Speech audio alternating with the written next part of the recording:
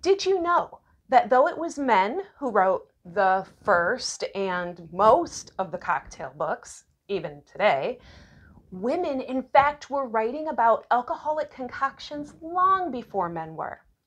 In honor of Women's History Month, that's what we're talking about this episode. If you like this kind of content, this booze soaked history, then hit the subscribe button below. Like or don't like the video, and please leave a comment. Tell me what you think or add anything that you'd like me to know.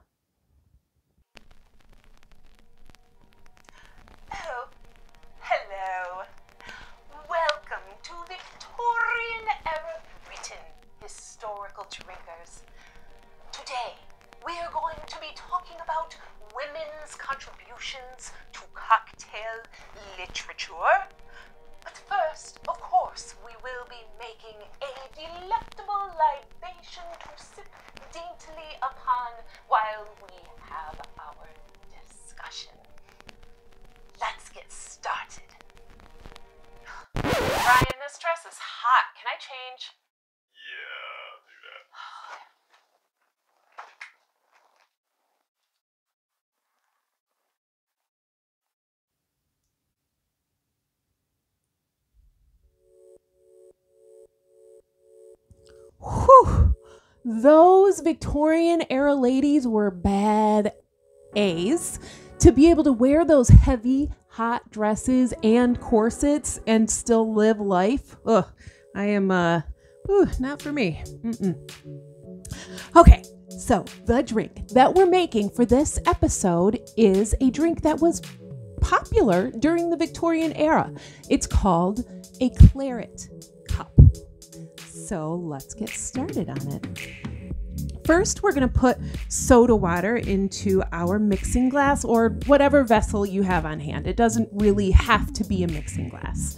Um, so we're going to put soda water in. I'm using Fever Tree soda water. If you've watched other episodes, you know I love Fever Tree. It's got tons of bubbles. Um, I'm using the whole can, which is five ounces.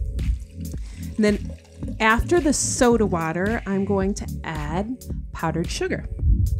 I'm putting one tablespoon of the powdered sugar. You don't have to be, it doesn't have to be perfect, but as close to a tablespoon as you can measure easily. There we go. Now I am going to just stir this up a little bit while the powdered sugar dissolves into the soda water. All right, it's still a few clumps in there, but it's looking pretty good. Okay, the next ingredient that we're going to add is Luxardo maraschino. So this is our Luxardo here. Now this is a product that was developed in 1821. So when you read these old recipes, it actually calls for Luxardo by name, which is really cool. Right? And the next thing that we're going to put in is our claret. This is called a claret cup, and claret referred to wine. In, in specifically, it referred to wine from the Bordeaux region of France. So that's what I have here. I have a Bordeaux blend. Now I'm going to put in five ounces of the Bordeaux blend.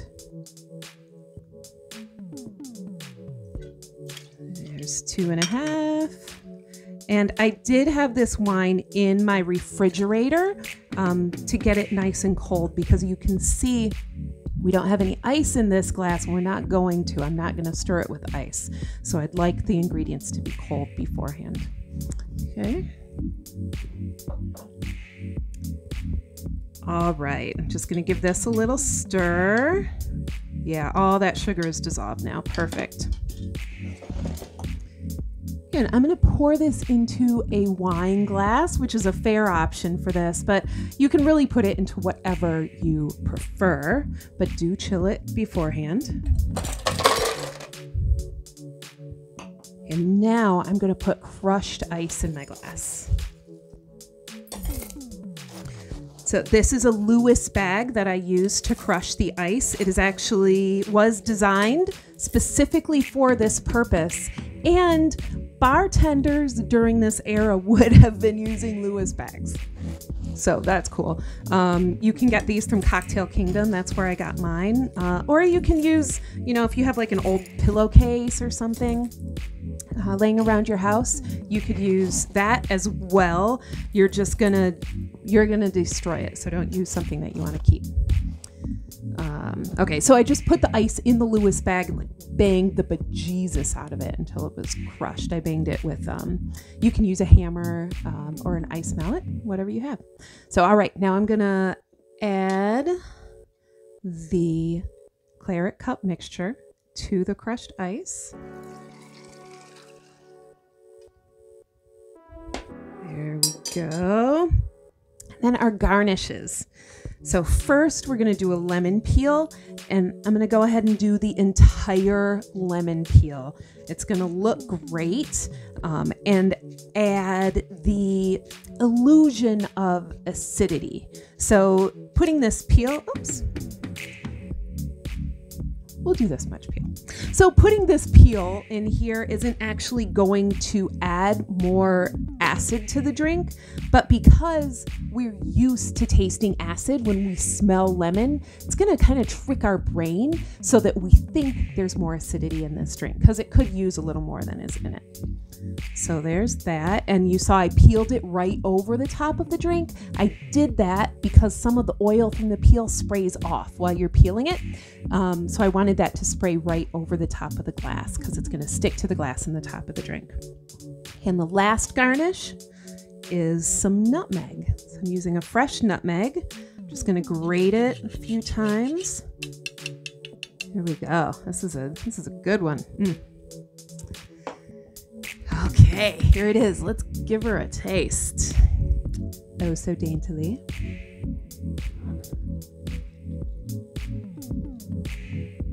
Mm. You know, it's good. Um, Brian made the point earlier that it's like sangria, and it is. It is absolutely like sangria. Uh, it's wine with some sugar added. Um, it doesn't have fruit, but it does have the Luxardo maraschino. It's got the lemon peel. Like, yeah, it is very close to sangria, uh, and it's it's good. It's not mind blowing. I'm not gonna crave one of these tomorrow, but I with a little adjustment, it could be very, very good. But I wanted to follow the recipe in the book. Okay, so just to review what we just did, what you're going to do is you're going to get a gla- glass, fill it with ice to chill it ahead of time. You're going to take a bag or something else, fill it with ice, and crush that ice. Then you're going to put soda water, five ounces of soda water in your mixing glass. You're going to add a tablespoon of powdered sugar, stir that up until it's dissolved. Then you'll add 0.25 ounces of Luxardo maraschino, followed by five ounces of a claret or Bordeaux blend. And then you're going to pour that mixture into your glass that's been chilling, which you have now filled with crushed ice. Once that mixture is in the glass on top of the crushed ice, you're going to garnish it with some lemon peel, and then you're going to finish it with just a touch of freshly grated nutmeg. Then you're going to sip and enjoy.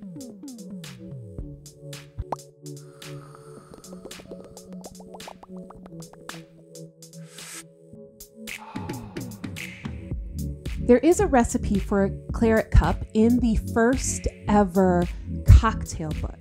This book was published in 1862, and the recipes were compiled by, and some were by, and the book was written by one Jerry Thomas, a very famous bartender at the time, maybe the most famous bartender ever. So, this was that book. Now, the recipe in this book is slightly different than the one that I used here, but I will talk about that in a little bit further on in the video. So, at this point in time, bartenders were mostly men. The vast majority were men.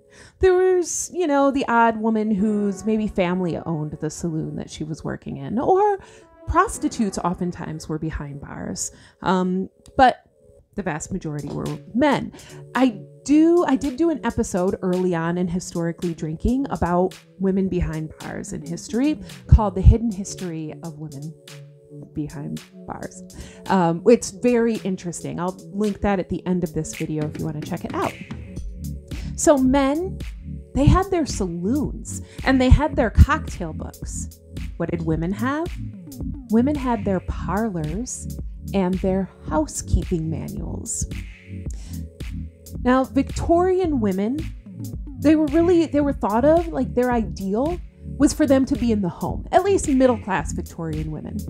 Like the home was their realm. They were in charge of making their homes beautiful, keeping themselves beautiful, their children, the food, the servants, um, organizing parties, um, entertaining guests, that sort of thing, like house stuff. They were in charge of all of that. That was their job, it was their full time job. This brings us to Mrs. Beeton because those women needed some help and they found it. So, Mrs. Beeton, she was born Isabella Mary Mason. She was an Englishwoman. She was born in London on March 14th, 1836.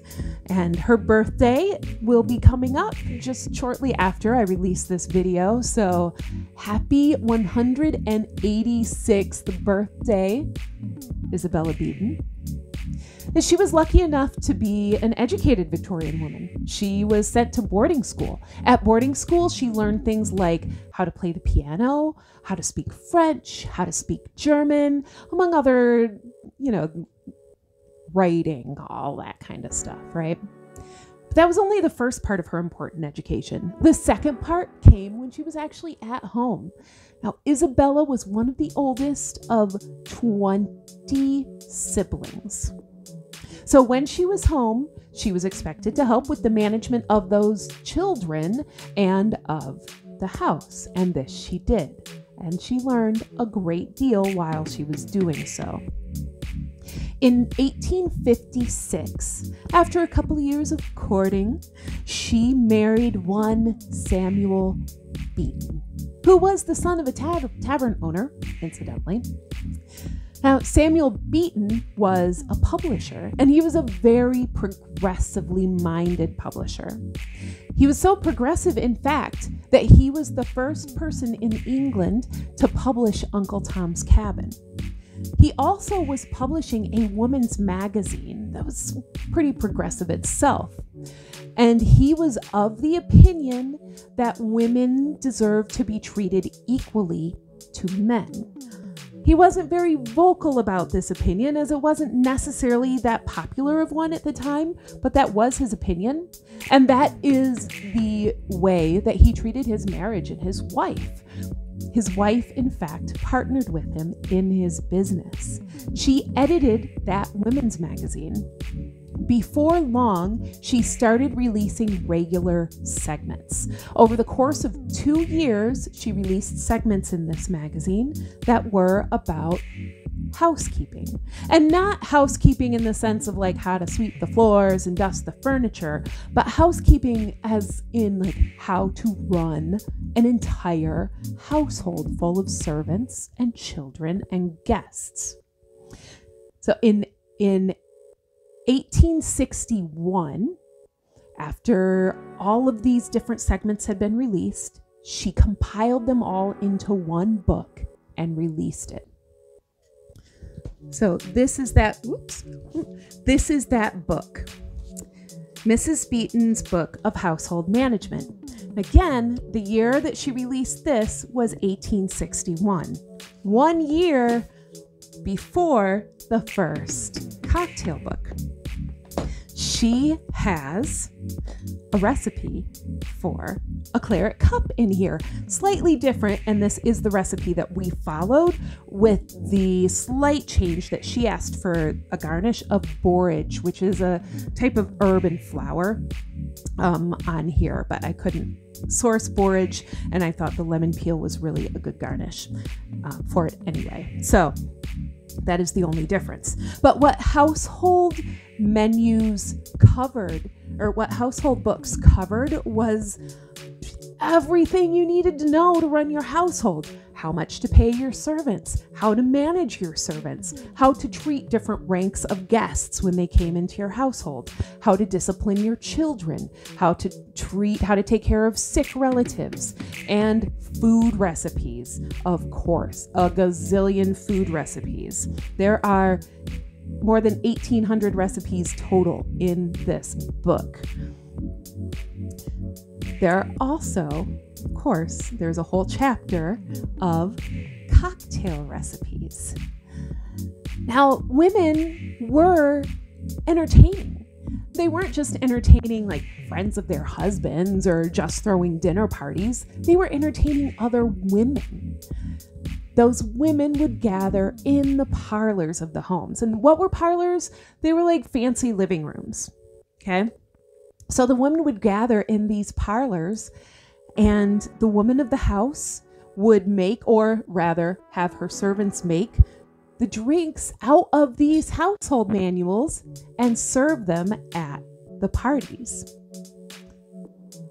Now, before, so household manuals were around before Mrs. Beeton released hers. Basically, once printing presses became like widely accessible, uh, household manuals started to come out. The difference was with Mrs. Beeton's is the way in that the way in which she organized the recipes. She made it she made them much more easy to read and follow. Her dire- directions were really concise and encompassing of everything you needed to know to make the recipes. And something she did that was done for the first time in this book was she made every recipe in her own kitchen. Again, more than 1800 recipes. She made them all in her own kitchen. And she costed out how much it made, how much it cost people to make them. And she included that in the information of every recipe, which was a new thing. She thought that women should know how much they were going to need to spend to make a certain dish. Very interesting concept, right? Now, even before these housekeeping books became a big thing, there were receipt books that women would keep. Or today we would call them recipe books, receipts, recipes, same thing. These receipt books would be written by hand by the women of the house, and they would be her recipes. Her recipes for foods, for sauces, for all different stuff that she made to eat, but also for drinks for different um, different fermentations you know fermentations of different fruits of wines of grains you know how to make beer um, but then also how to make things into mixed drinks. So there were recipes in these books for mixed drinks. And these go back hundreds of years now mostly, of course, totally all wealthy women writing these receipt books. They would write them out by hand and then they would pass them on from generation to generation. And you can find these online, um, actual, like, photo people have photocopied these books through like the Gutenberg project and put them online. So you can try and decipher this old handwriting and weird letters and weird words for things. Um, but they're there. You can find them. They're really cool. Um, I'll try and I'll try and remember and actually link one of those in the comments as well. And so there it is my friends. That's it so long before the first cocktail book written by a man, women were writing down drink recipes and passing them on to each other for hundreds of years before this happened. But we it's not really part of our our it's not what we're aware of, right? But it was a very important piece of women managing their households. Um, yeah, so there it is. There is so this one, Mrs. Beeton's, like I said, was from Victorian England. I did want to show you this one. This is the other one I have a reproduction of. Um, so this is from Old Virginia, housekeeping in Old Virginia, uh, night or 1871, I believe, 1879. 1879 is when this came out. So Victorian era United States. So that's cool. I will put links to both of these in the show notes. Next episode, we're going to be talking about what women did next as far as writing about cocktails. They did eventually appear in uh, in drinks writing. So I'm going to give you a little teaser. We've got the first ever, a reproduction of the first ever cocktail book written by a woman. We will get into that in the next episode. So that's it for today. But stay tuned for this fun thing. Um, and we're going to do something really interesting with our cocktail for next week, too. So remember this drink that hopefully you made with me today, and we'll talk more about it next week. Now, if you would like to support historically drinking, if you want to encourage me to keep doing these fun episodes, you can support without even spending any money by using the links in the comments for ButcherBox or for Coinbase. So, ButcherBox, they sell right to your door. They deliver really high quality, humanely raised meats. It's awesome. I love ButcherBox. Um, and Coinbase is where you go to, you know, buy things like Bitcoin. So, yeah, if you're interested in either one of those things, follow the links. You can also just straight up support on Patreon. You can find us under Historically Drinking. Thank you so much for watching, and thank you, of course, to Brian Bell for filming and editing. Love y'all. See you next time. Cheers.